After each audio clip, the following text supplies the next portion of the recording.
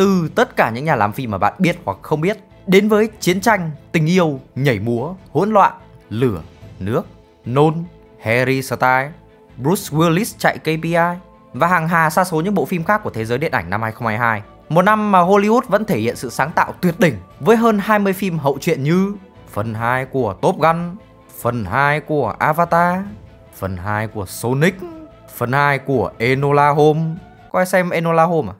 Rồi thì phần 3 của Jurassic World, phần 3 Fantastic Beasts và nhiều hơn thế nữa.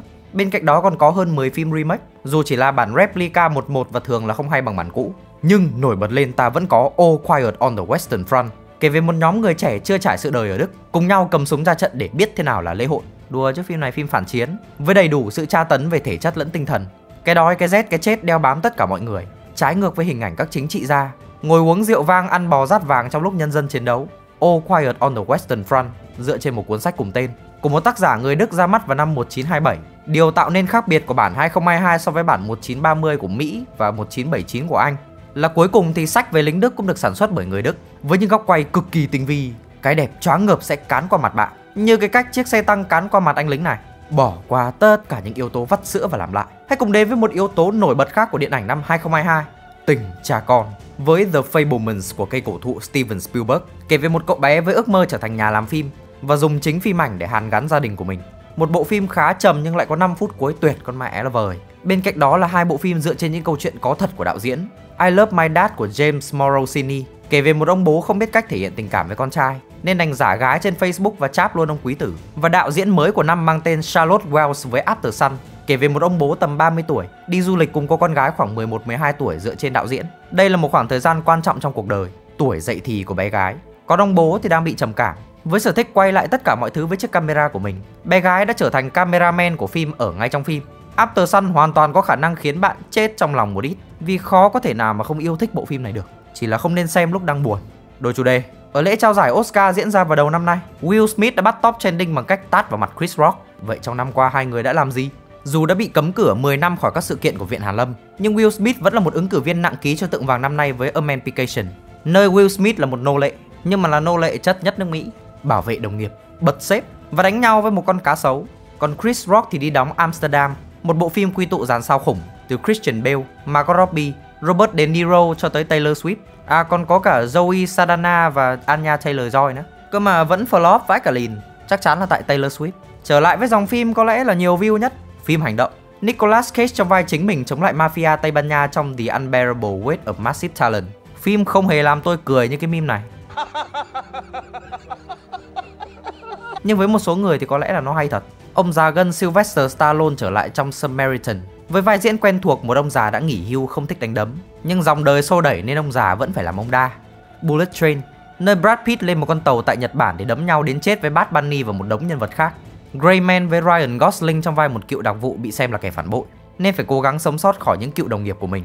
Đây là lần thứ hai anh em nhà Russo cố chứng tỏ mình là đạo diễn điện ảnh sau khi rời Marvel.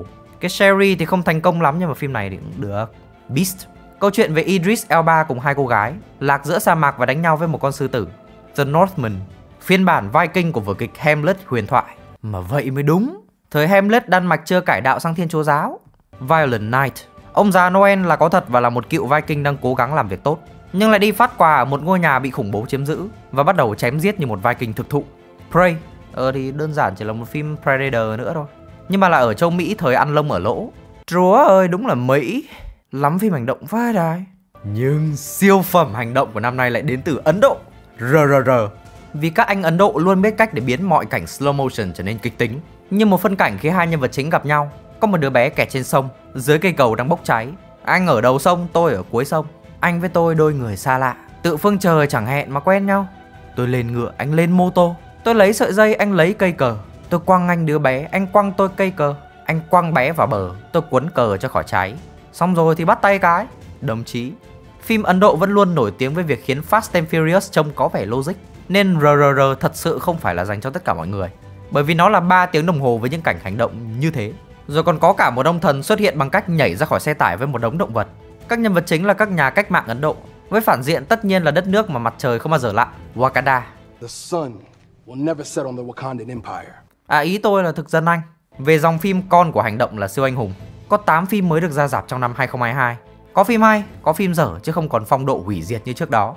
Và đương nhiên, cuộc chiến quan trọng nhất mà các siêu anh hùng phải đối mặt là với sự chỉ trích của các đạo diễn nổi tiếng. Điển hình như việc Tarantino nói diễn viên Marvel không phải là sao điện ảnh. Vậy thì các diễn viên Marvel F1 năm qua đã làm gì? Tony Stark làm phim tài liệu về Robert Downey. Thor ngoài tác phẩm Love and Thunder còn tham gia một tác phẩm khác là Spider-Head. Nói chung 2022 không phải là năm của anh. Hulk và Gamora tham gia The Adam Project, nơi Deadpool du hành về quá khứ để gặp chính mình không phải Green Lantern. Ngoài ra thì Gamora còn đóng Amsterdam như đã nói. Và bộ phim có doanh thu cao nhất năm Avatar 2. Captain America là phản diện trong Grey Man và lồng giọng cho Buzz trong phim hoạt hình Lightyear.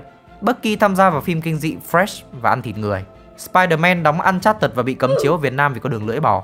Nếu MCU vẫn còn fan base để hy vọng vực dậy, thì vũ trụ DC đã nát nay lại còn bầy nhầy. Với dàn diễn viên F1 đã bị đá đít chứ không chia tay êm đẹp như nhà hàng xóm.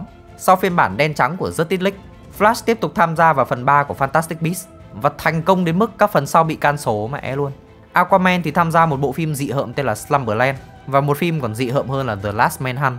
Ghệ của Aquaman cũng được nhắc đến trong Hot Take The Depp Heard Trial dựa trên vụ kiện ly hôn sau khi Amber Heard trang trí cho giường của chồng. Phim ăn theo tôi chứ xem xử trực tiếp hay hơn đấy. Batman thì trở thành chồng của Anna de Armas trong Deepwater, nhưng anh lấy nhầm con mẹ nó vợ và được một thời gian thì không chịu nổi nữa. Đạo diễn của phim là Adrian Lyne, người từng tạo ra Fatal Attraction, Insidious Proposal và Unfaithful, ba bộ phim có tiếng trong chủ đề ngoại tình. Nghe vẻ ông này có vấn đề gì với phụ nữ à? à? tiện nhắc đến Anna de Armas thì cô còn đóng Marilyn Monroe trong Blonde, một bộ phim có 10 phút đầu tuyệt phẩm nhưng phần còn lại thì ờ, thôi bỏ đi. Wonder Woman có lẽ là thành công nhất trong dàn diễn viên DC với phần 2 của Dead on the Nile.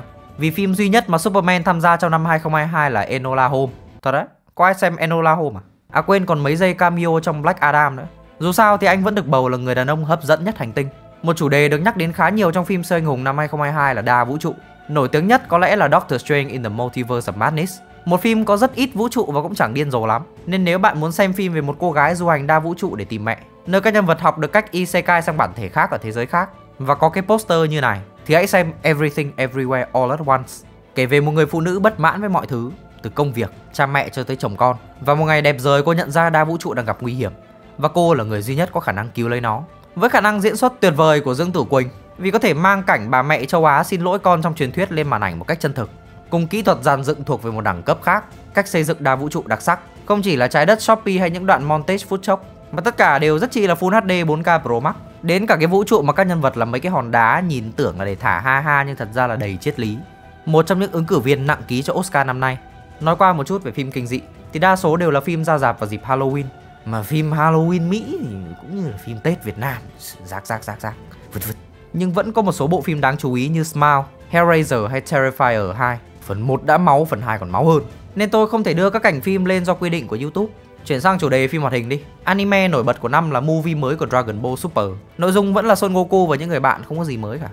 Nhắc đến hoạt hình Mỹ hãy gọi tên Turning Red, nơi một cô bé người Hoa tại Canada có khả năng hóa gấu đỏ.